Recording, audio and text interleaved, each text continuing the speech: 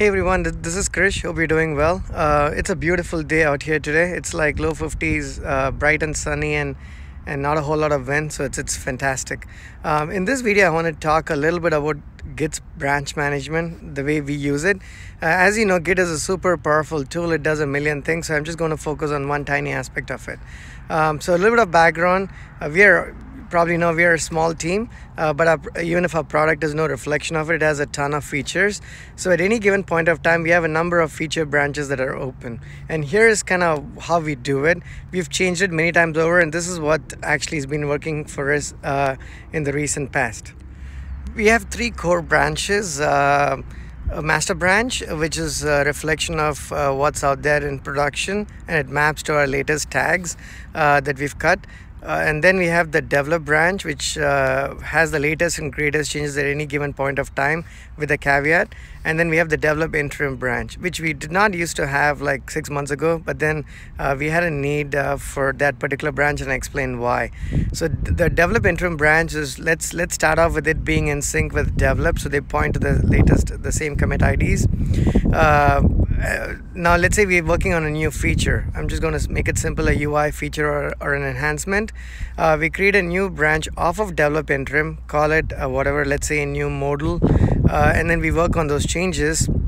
And then uh, we'll get to the commit aspect of that branch because you know how you do your commits how often and things of that nature. Uh, they're not related to this core discussion. So let's say you work on that feature and at, at one point it is ready um, ready to be merged. So we call it process in rmd rmd like review merge and deploy. Um, so you know we get on the call we review the changes uh, and then if uh, we make the uh, you know based on the review feedback code review feedback we make more changes uh, make more commits into that feature branch and then get back on the call uh, and then work on doing a merge the second aspect of the RMD uh, uh, merge. So when we do merge, after we test it, uh, we merge it into develop interim. We do not merge it into develop we don't merge it into develop for many reasons. One of them is that there could be other dependencies, and there usually are other dependencies, like the API changes have not been pushed, for instance. Um, excuse me. So moving it into uh, merging it into developed uh, into the develop branch uh, creates uh, discrepancies for us. So we merge it into develop interim, and once the other changes are done, like say the API changes are done, uh, we follow the same process in the other repositories as well. So those get merged into develop interim and then if we deploy develop interim to development for instance uh, or to test one of those environments uh, and if things look all right then we actually merge them forward to develop. At that point the latest and greatest is there. Uh, add to this other complications or complexities like uh, we're not necessarily working on a single feature at any given point of time. So let's say uh, if there are n developers we have like m features where, where m is greater than n so the so one person is working on multiple features uh, and then you're waiting on feedback from other team members. So you end up merging it into develop interim and you start working on more changes. At that point uh, we always ask ourselves whether we want to create a new branch off of develop interim or if we want to work on the new feature branch that was just merged to develop interim because uh, we've not yet had the time to, to review it.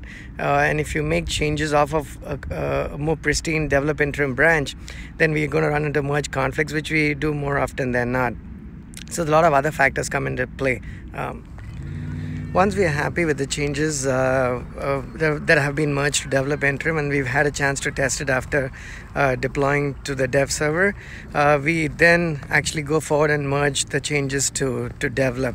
At that point uh, the latest and greatest changes would have been merged to develop and then we deploy to a different server and we let that sit for a little while. By a little while i mean it could be a few minutes, a few hours, or maybe a couple of days uh, to make sure things are stable, just depending on the scope of the change we made, uh, we may have made.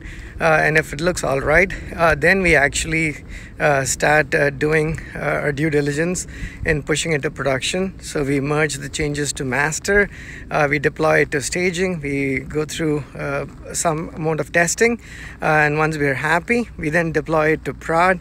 and obviously, we create the tag in the process. So that's at the high highest level our Git, um, the way we uh, do our Git management. Thank you.